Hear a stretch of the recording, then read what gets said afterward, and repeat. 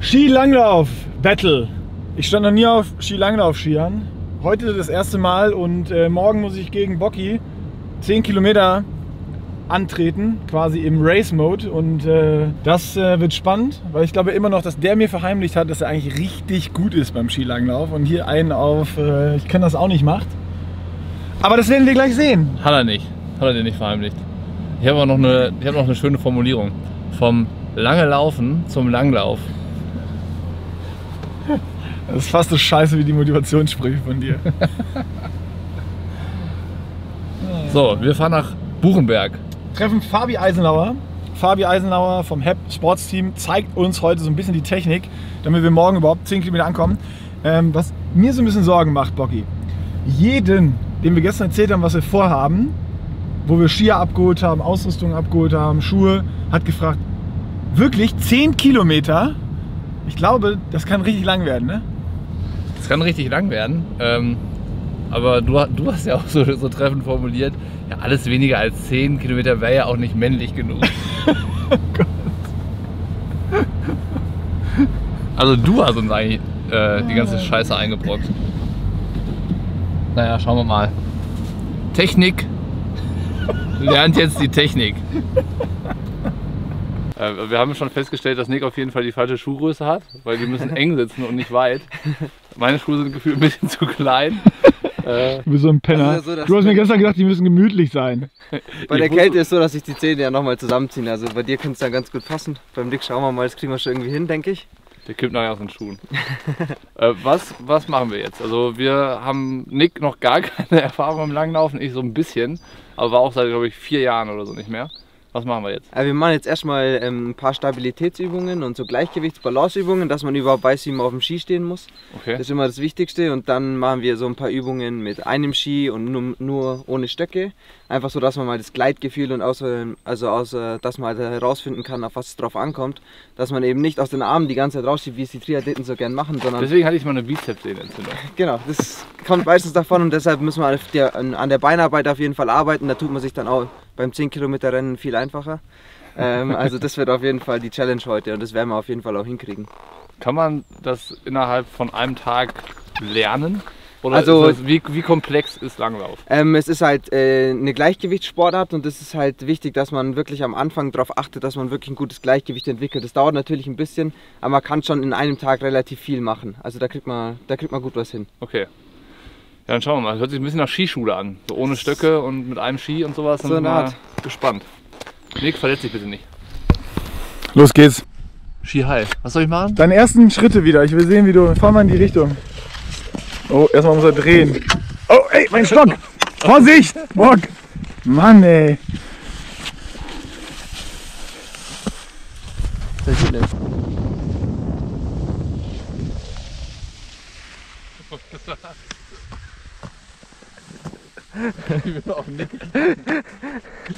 Was soll ich mal entgegengehen?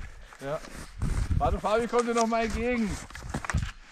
So, Der Daumen muss da durch, genau. oh, Dann das war knapp fast ziemlich die eng. Schlaufe verloren.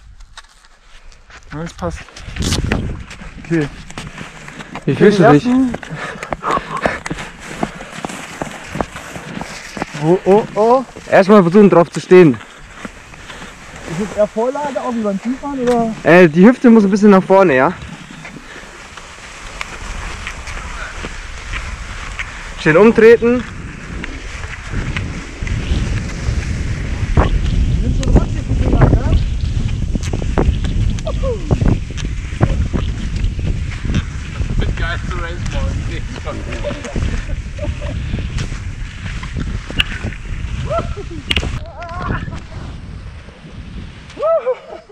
Vorsicht!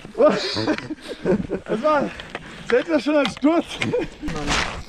Es gibt halt einen Gleitski und einen Druckski praktisch. Ah. Das heißt, ich stehe immer auf dem und mit dem schiebe ich mich nach vorne.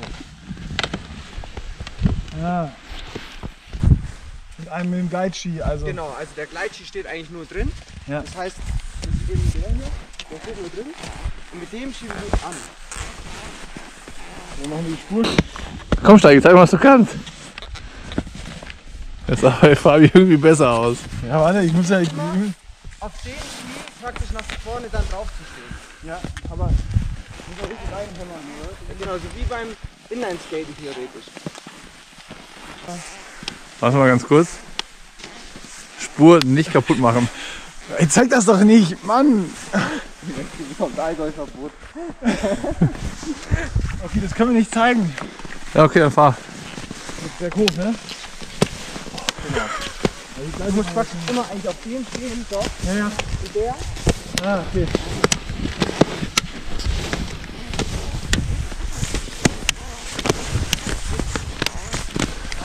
Der Steiger hat morgen überhaupt keine Chance.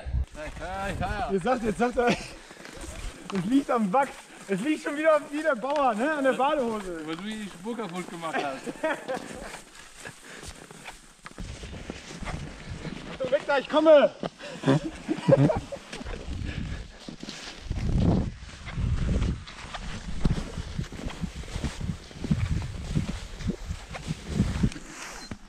Praktisch, wir versuchen jetzt die Verlagerung immer auf, auf den Ski, wo wir, wo wir draufstehen. Das heißt, wir gehen schon. Gleitski dann. Gleitski, genau. Ja. Ähm, ich mach's einfach mal kurz hier vor. Wir gehen hoch auf den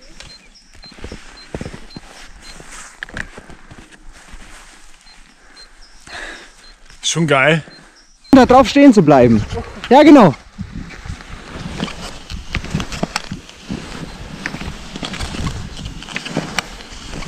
Und wirklich so die Belast, also das Gewicht auch nach vorne auf den Ski. Ja, schon nicht schlecht. Ja, das ist echt ein bisschen langsam, was du da machst. Also ich kann easy hinter dir herfahren.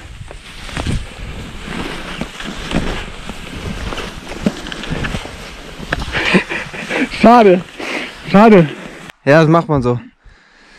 Aber das macht man dann am Schluss, wenn man fertig ist. Richtig posen. Genau, aber nicht das mit den Beinen vergessen.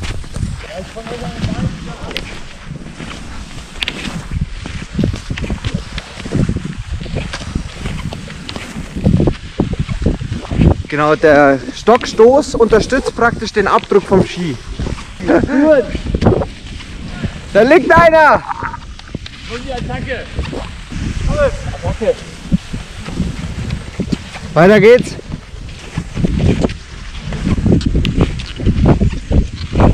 Ihr wisst ja noch gar nicht, was auf euch zukommt jetzt. Rücklage gekommen. Äh, warte mal, ich muss ja, ich glaube, ich.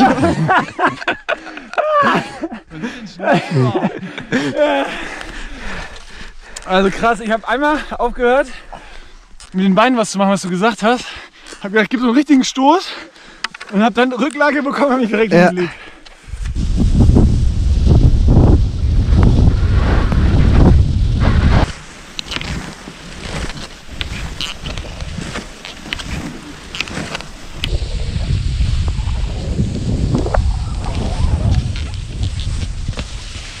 Ja?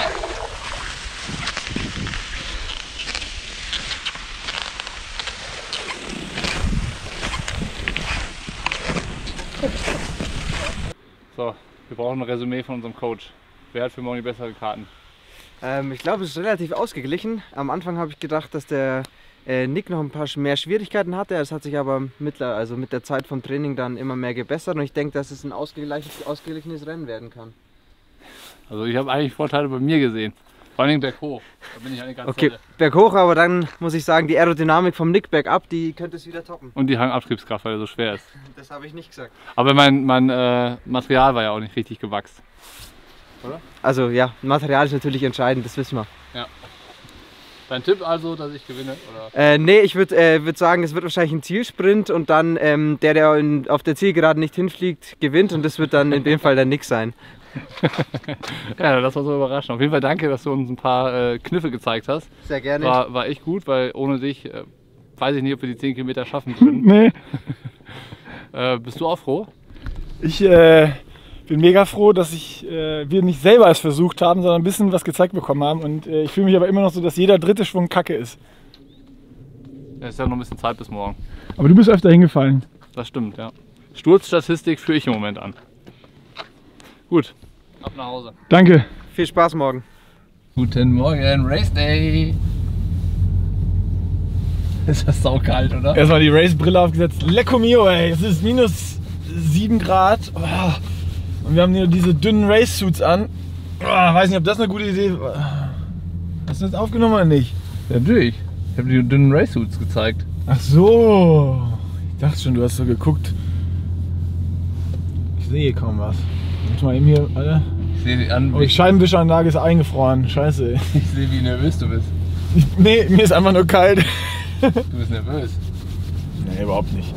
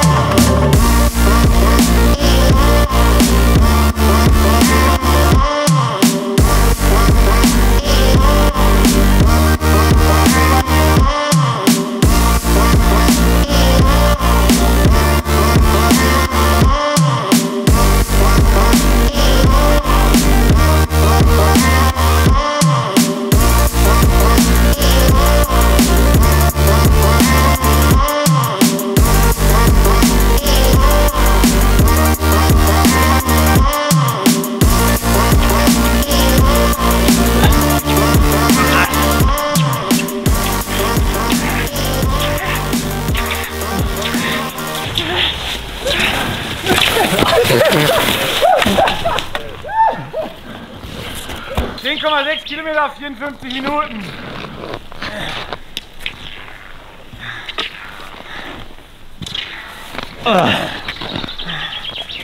Am Ende bin ich übermütig geworden.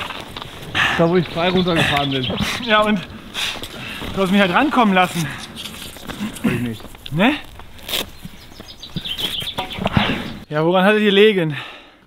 Ich würde es voll aufs Material schieben.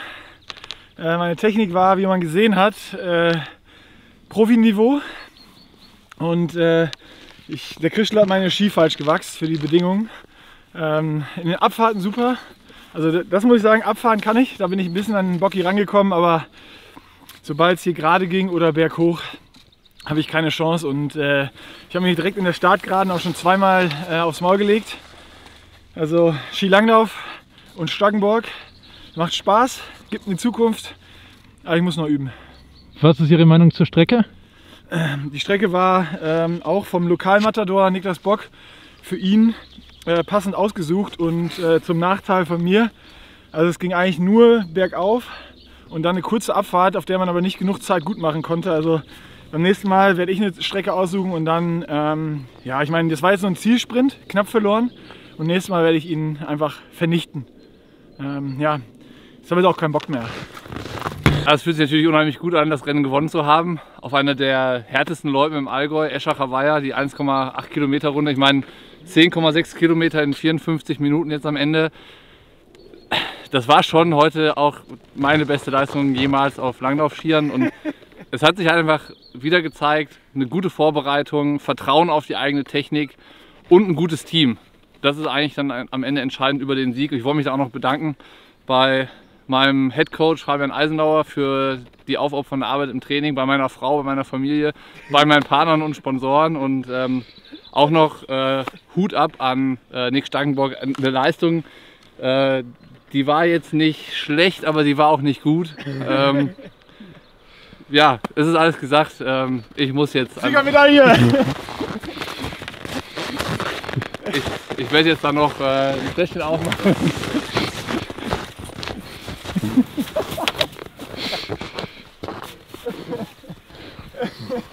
Gehen wir zurück ins Studio, bevor das eskaliert.